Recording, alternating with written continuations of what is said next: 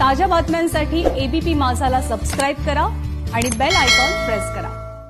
केंद्रीय मंत्रिमंडळानं आज नव्या शैक्षणिक धोरणाला मंजुरी दिलेली आहे.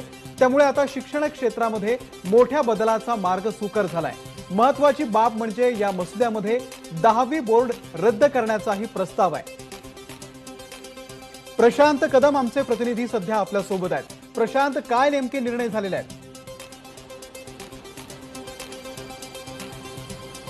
अमोल खरं तर शैक्षणिक व्यवस्थेसाठी अतिशय महत्त्वाचा दिवस आहे कारण पुढच्या काही वर्षांमध्ये आमूलाग्र बदल क- करणारा आणि ज्या येणाऱ्या पिढ्या आहेत त्यांच्यासाठी सुद्धा हा अत्यंत महत्त्वाचा दिवस आहे.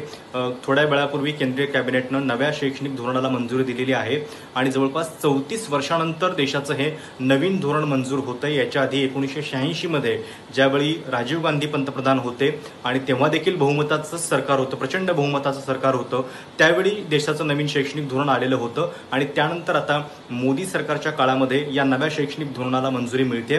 खूप गो वेगवेगळ्या गोष्टींची चर्चा आहे.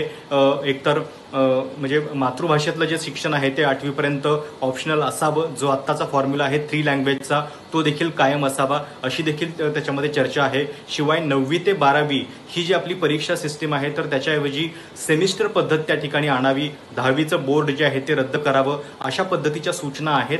त्या किती त्याच्यामध्ये ऍक्सेप्ट झालेल्या आहेत हे आपल्याला पत्रकार परिषदेमध्ये कळेल. चार वाजता प्रकाश जावडेकर आणि केंद्रीय मनुष्यबळ विकास मंत्री रमेश पोखरियाल हे एकत्रितपणे पत्रकार परिषद घेत आहेत खरं तर प्रकाश जावडेकर यांच्यासाठी सुद्धा हा महत्त्वाचा मुद्दा असेल कारण ते मागच्या टर्ममध्ये एच आर डी मिनिस्टर होते आणि त्यांच्याच काळामध्ये या संपूर्ण नॅशनल एज्युकेशन पॉलिसीचा ड्राफ्ट जो आहे तो तयार झालेला होता हो. भाजपचं जाहीरनाम्यातलं जे आश्वासन होतं त्या आश्वासनाची एक पूर्ती जी आहे ती या निमित्तानं होतीये. कारण नवीन शैक्षणिक धोरण देशामध्ये आणू हे आश्वासन त्यांनी दोन हजार चौदाच्या जाहीरनाम्यामध्ये सुद्धा दिलेलं होतं.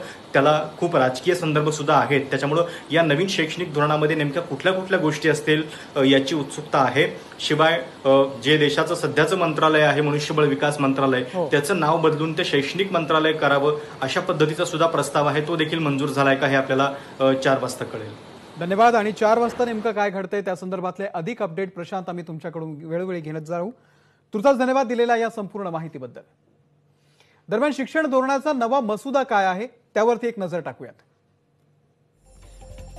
तर दोन हजार एकोणीसमध्ये शिक्षण धोरणाचा नवा मसुदा तयार आहे. आज केंद्रीय मंत्रिमंडळाच्या बैठकीमध्ये त्याला मंत्री